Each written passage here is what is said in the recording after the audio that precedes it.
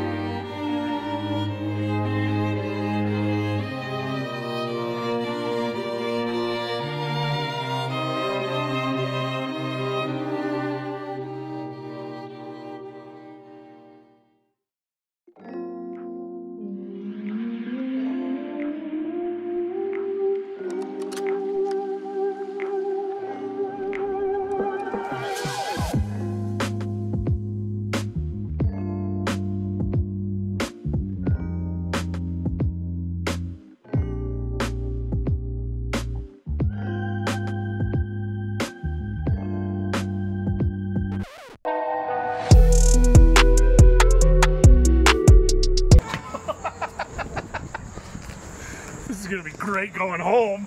Sorry, honey. Lift. And get this thing going. Okay. Ready? Yep. What do you got? 350, 348, 346, 348, 348. And just to make sure we know what we're talking about, just shy of 200. So she's 150 pounds. 150 pounds. Did you feed her this week? No, she hasn't eaten in three weeks. What? Well, how much was the last meal you fed her when you gave her that pig? 60 pounds. 60 pounds full. So she could she pushes over 200 after a meal.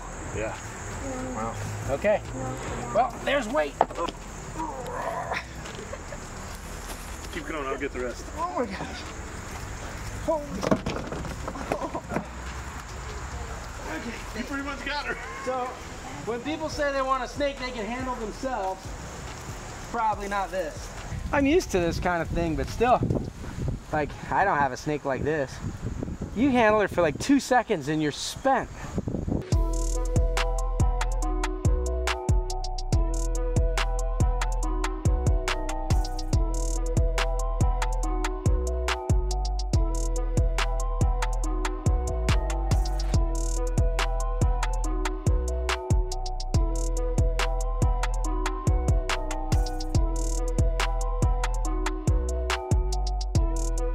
Definitely a two and a half man job.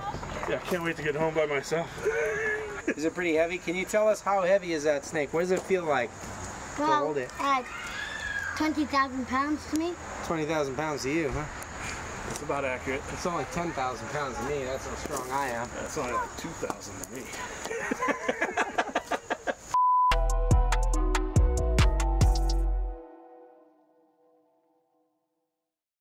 Hopefully that will help you sort fact from fiction, the hype of the dwarf and super dwarf versus the reality.